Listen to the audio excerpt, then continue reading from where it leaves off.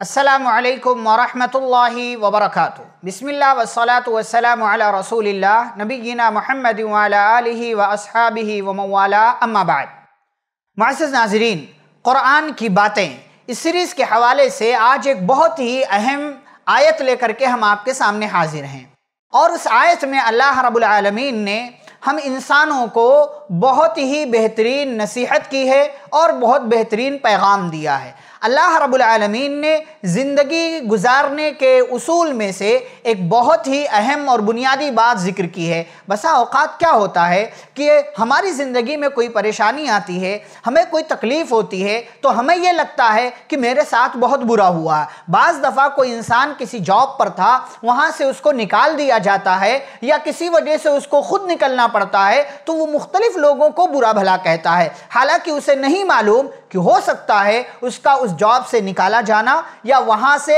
चले जाना, खुद जॉब छोड़ देना, हालात का ऐसे बन जाना जो हमें बज़ाहिर नापसंद लग रहा है, जो हमें बज़ाहिर बुरा लग रहा है। हो सकता है उसका अंजाम बेहतर हो। हो सकता है आज हमारे ऊपर जो मुसीबत, जो परेशानी आई हुई है, उसका नतीजा बेहतरी की सूरत में हमारे पास आने वाला हो। इसी चीज़ को अल्लाह रब्बुल आलमीन ने कुरानी मजीद की इस आयत में ज़िक्र किया वासा अनचकरहु शै वह खैरुल्लकुम वासा अन तुहिब्बु शै वह शर्रुल्लकुम अल्लाह कहते हैं कि बहुत मुमकिन है कि जो चीज़ तुम नापसंद कर रहे हो, जो चीज़ तुम्हें नापसंद हो हो सकता है उसमें तुम्हारे लिए खैर हो हो सकता है उसमें तुम्हारे लिए भलाई हो। और इस ज़िम्न में एक वाक़ मैं आपके सामने ज़िक्र करूँ। हज़रत जैद बिन हारिसा रदी अल्लाह तहों को आप तमाम लोग जानते होंगे। एक बड़े ही प्यारे से सहाबी हैं। ये वो सहाबी हैं जिनका नाम कुरान मजीद के अंदर आया हुआ है। ये वो सहाबी हैं जो नबी सल्लल्लाहु अलैहि वसल्लम के ग़ुलाम थे और आप सल्लल्लाहु अलैहि वसल्लम की खिदमत किया करते थे। ये वो इंसान है जो तीसरे नंबर पर सबसे पहले मुसलमान होने वालों में से हैं। हज़रत जैद बिन हारिसा रज़ी अल्लाह तु ये मक्का के नहीं थे, लेकिन मक्का में रह रहे थे। क्यों? इसलिए कि ये जिस इलाके के थे, शाम के इलाके के, एक मरतबा अपनी माँ के साथ जा रहे थे कहीं पर, और काफिले पर अचानक डाकुओं ने हमला कर दिया, और जहाँ बहुत सारे सामान लूट लिए, जानवरों को लूट लिया, वहीं पर बच्चों को भी अगवा कर लिया।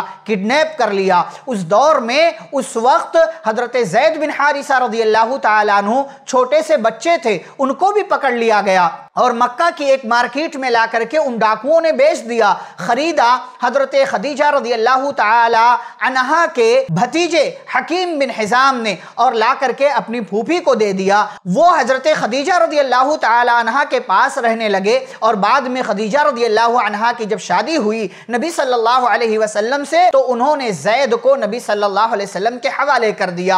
आप देखें, एक बच्चा उसके ऊपर हालात ऐसे बदल गए कि माँ से बिछड़ गया, बाप से बिछड़ गया घर वालों से बिछड़ गया, इलाके को छोड़ना पड़ा और आज़ाद था। मक्का में ला करके बेच दिया गया। अब गुलाम बन गया है। किसी के यहाँ काम काज कर रहा है, किसी की गुलामी में ज़िंदगी गुजार रहा है। लेकिन बाद में यही बच्चा इस्लाम का सिपह सालार भी बना, कमांडर भी बना। हालात के बदलने से घबराना नहीं चाहिए। अल्लाह रब्बुल आलमीन कभी कभार हमारी ज़िंदगी में जो मुसीबत आती है, दरअसल उस मुसीबत को हमारे लिए किसी खैर का दरवाज़ा बनाना चाहता है। जैद बिन हारिसा रज़ी अल्लाह तहों के ऊपर अगर ये हालात न गुजरते, ये हालात उनके ऊपर तब्दील न हुए होते तो कैसे वो सहाबी बनते, कैसे वो नबी के ग़ुलाम होते, कैसे वो नबी के साथ रहने वाले होते, कैसे नबी के साथ उनका उठना बैठना होता, हालात की तब्दीली से घबराएँ नहीं, इसलिए कि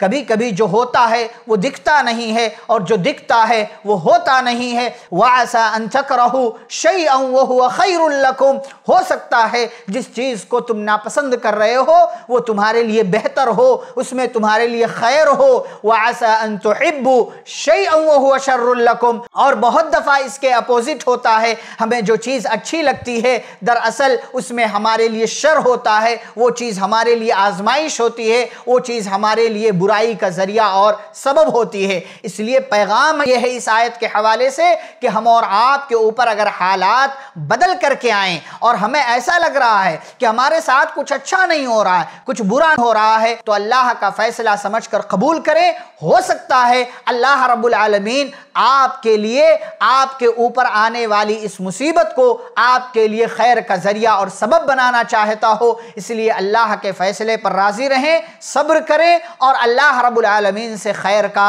सवाल करते रहें। अल्लाह रब्बुल आलमीन हमें हर किस्म की बुरी चीज़ों से महफूज रखे और हमें हर सूरत हाल में कुरान हदीस के मुताबिक ज़िंदगी गुजारने की तोफ़ी अता फ़रमाए। आमीन। वसल नबी करीम। अल्लाम वरहमल वर्का ऐसे ही फ़ायदेमंद इस्लामिक वीडियोस देखने और मनहज सलफ़ पर किताब व सुन्नत की तालीमत को आम करने में हमारा ताउन करें, ताकि आपके लिए ज़रिया नजात, जन्नत के हसूल का सबब, साथ ही माल में बरकत व इजाफे का ज़रिया भी बने। आमीन। जजाकल्लाह खैरन।